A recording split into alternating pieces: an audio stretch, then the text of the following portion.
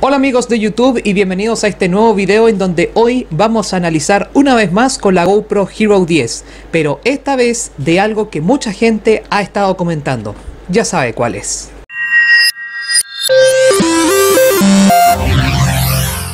La GoPro Hero 10 ya lleva más de dos meses desde su día de lanzamiento y que la verdad las características son muy impresionantes con el chip GP2, con el 4K 120, 2.7K a 240 y por supuesto el 5,3K 60. Pero no todo es lo que brilla y es que hay algunas personas que tienen esta GoPro 10 han reportado diferentes problemas y es el tema de la temperatura y la autonomía de batería. Partimos primero con el tema de la batería. Como ustedes ya saben, la batería es exactamente del mismo tamaño y capacidad que la GoPro Hero 9, es decir, los 1720 mAh.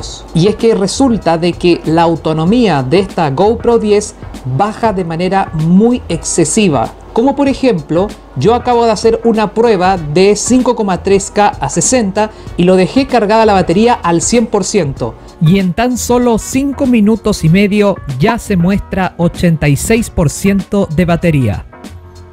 Eso demuestra claramente que se ha gastado de una manera muy excesiva. A consecuencia de esto, la misma GoPro ha anunciado que el próximo 30 de noviembre se va a lanzar una nueva batería con el fin de poder mejorar la autonomía en esta GoPro 10, bajo el nombre de Enduro Battery. ¿Y para qué sirve eso? Dirán algunos. Bueno, pues quiere mejorar un poco la autonomía para que no se gaste de una manera excesiva. Y además, la característica que me llamó la atención es que esta batería va a ser capaz de resistir a bajas temperaturas en condiciones de mucho frío. Además, la nueva batería tiene calculada también el tiempo de estimación de video para la GoPro Hero 10, por lo cual el tiempo de estimación son los que aparecen en pantalla. Si quieren pueden poner pausa al video para que puedan leer detenidamente. Además, la nueva batería no solamente resistirá al frío, sino que también al calor, según dice que va a resistir hasta los 25 grados Celsius, por lo cual el tiempo de estimación aparece en pantalla.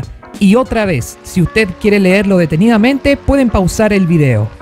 Así que ya saben chiquillos, esta nueva batería de GoPro promete mejorar un poco más para que así no tengamos más problemas con el tema de la autonomía. Ahora viene uno de los puntos que mucha gente ha estado comentando y es el tema de la temperatura en la cámara. Sí, ya sabemos que es normal que estas cámaras de acción se calientan, pero en este modelo en la GoPro 10 me pareció un poco exagerado, al igual que la batería, porque la temperatura se calienta también muy pero muy deprisa. La principal evidencia está en este test que hice en 5,3K a 60 y acompañado de mi cámara térmica. Y sí, evidentemente en menos de 5 minutos ya sobrepasó los 50 grados Celsius, lo cual significa que literalmente esta cámara es como una roca volcánica. Y eso es claramente con una resolución altísima, con un 5,3K a 60, combinado con el chip GP2 es un buen cóctel para que la temperatura de la cámara se eleve considerablemente. Entonces, ¿qué es lo que hizo GoPro al enterarse también de la temperatura excesiva? Pues resulta que el pasado 2 de noviembre se hizo una nueva actualización, la primera en esta GoPro 10, y lo que hace es colocar diferentes modos de limitación para diferentes resoluciones con el fin de que la batería se comporte de una manera más óptima. Aquí existen tres tipos del modo de video en la cámara, que son el máximo rendimiento, que quiere decir máxima resolución y velocidad de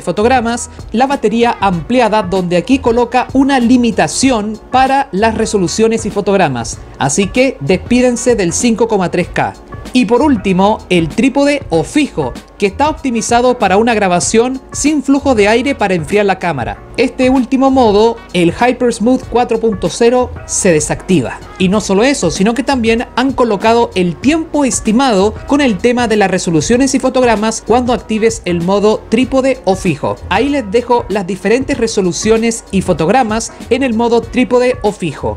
Si lo quieren, pueden pausar para leerlo de manera detenida.